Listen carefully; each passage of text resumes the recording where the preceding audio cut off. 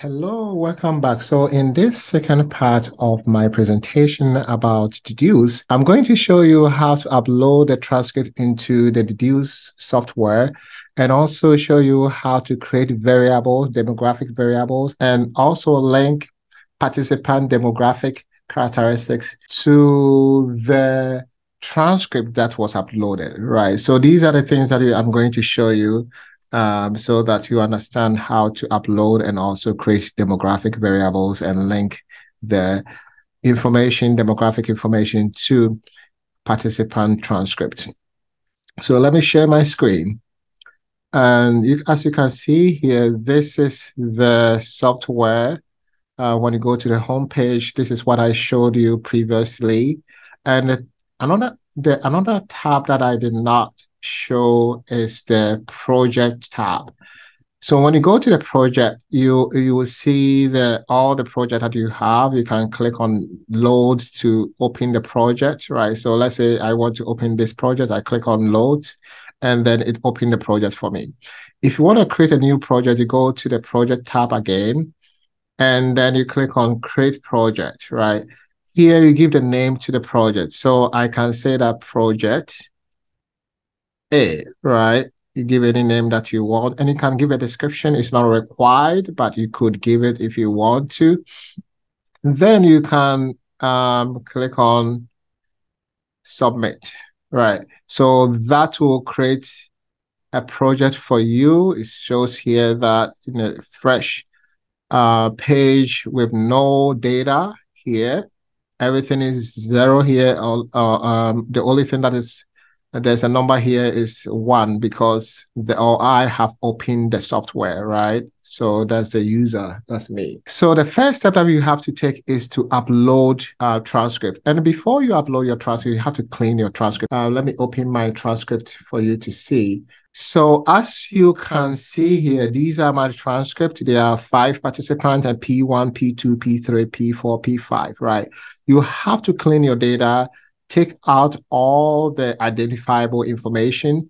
Their names should be taken out, and you can give them some IDs. So my ID will be P1, P2, P3, P4, P5. There are five participants, and or each participant has their own transcript or document. So when I when it, so you can see that we I have their demographic information here, and I have their responses to the questions that I have for them. So, and I said here, I said participant P1. You see that the data is very clean for the analysis, right? So that's what you have to do. Clean your data first before you upload them to Dedoose system.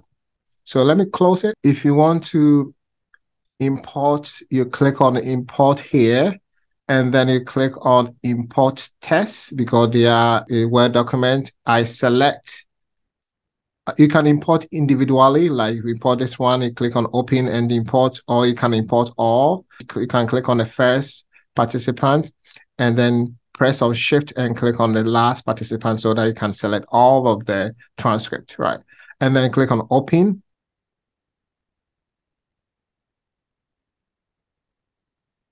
So yes, so as you can see here, I have five transcripts, all of them have been uploaded, right? So the next step that you have to think about is creating the demographic variables and then connecting the demographic information to the transcript that you have. So what do you have to do? You go to descriptors, right? When you think about descriptors, think about participants, right? For descriptor sets, you are labeling the data set that is related to the demographics. So you click on that and you give it any any name that you want. Mm, for me, I will just type participant demo graphics. Right. And then I click on submit. Right. So the next one is to go to set fields, right? And click on the plus sign. Here you are going to list all the de demographic variables that you have. So in my um let me open this one for you to see the demographic variables that i'm interested in so this table gives me um i have participant ids i have a, a participant id their age gender year of experience and also ethnicity so i want to bring the variable called participant ID there, the variable called age, gender, years of experience, and ethnicity. I have to create variables for them, right? So the first one is participant ID, right? And you can give a description, but it's not required. Here you you you check or you select test. Why do you have to select test? Because you're going to type in the their IDs, right? You can click on submit, right? And then we go to the next, you click on plus again. The next variable is the age. As you can see here, they give us their um the their actual age. So in this case, I'm going to type, I'm going to select numbers under field type. If the variable is a continuous variable, you choose numbers, right? If the variable you have to type in something, you choose the text. If you if it's about date and time, you choose that. If it's option list, this means that it's a categorical variable. You choose options and list. So let's choose the number and then click on submit. The next variable is gender. So we have only two groups under the gender and we have to select option list and type here male and click on add. This one, you are typing the categories that you have, female. And click on add. And then when you finish, you click on submit. If you change your mind, you can take it out and then put that inform any information there. You can also rename it if you want to. If you change your, you can also bring it up or down. I finished, so I click on submit. And then the next one is the years of experience. So I click on the plus sign and I type years of experience. Right. And then um, it's continuous variable because they give uh, me the specific their specific years of experience, right? So I just going to put the numbers there. So I click on submit. And then I go to the next one, which is the ethnicity, right? Ethnicity. I have three options here. So I click on option list and type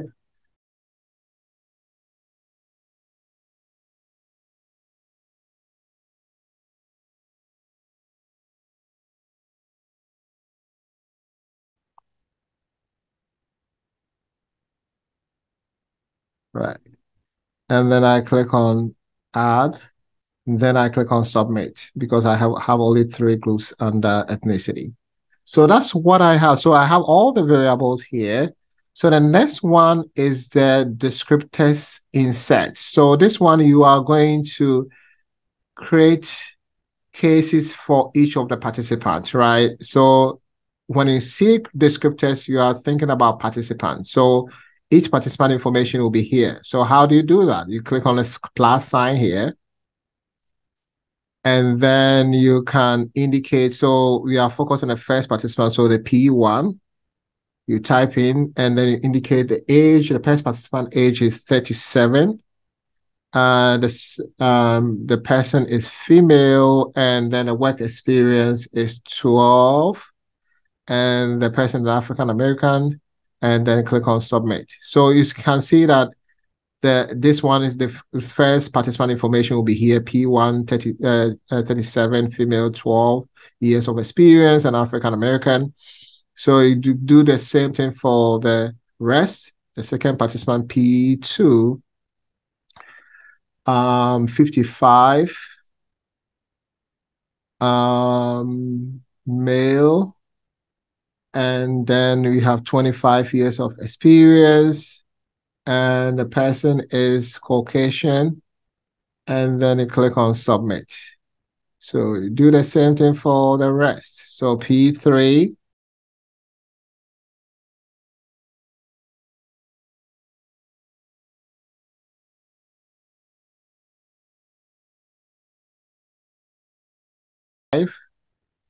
so if you have 10 participants, you're going to do 10 cases or 10 participant information, right?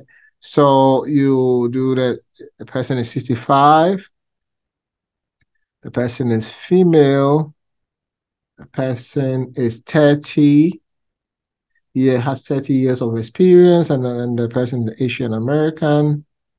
And then I click on yes. So you can see here that I have all my five participants here.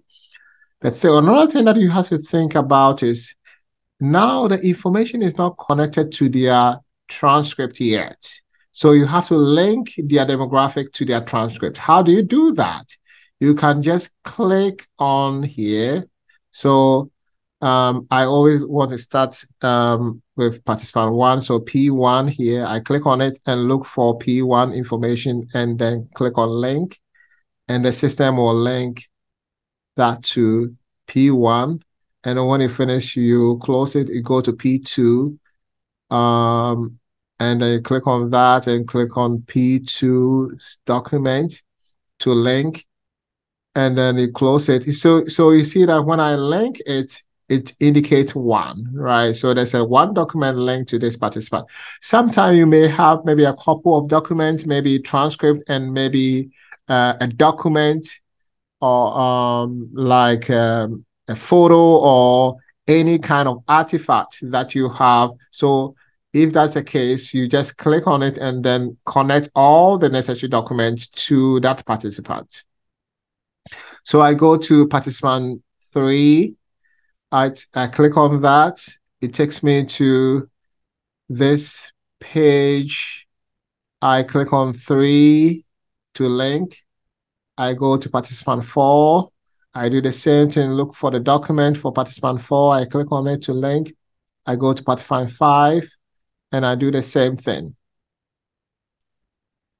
Right, so now I have all the document connected to demographic information if if we pull this, uh, we open the column a little bit, you can see memo. So if you want to write memos, right, or if you want to connect this to a, an existing memo, you could do that. You click on it and look for the memo to connect, right? So that's what you're going to do. Now we have uploaded. When you go here, you click on this part.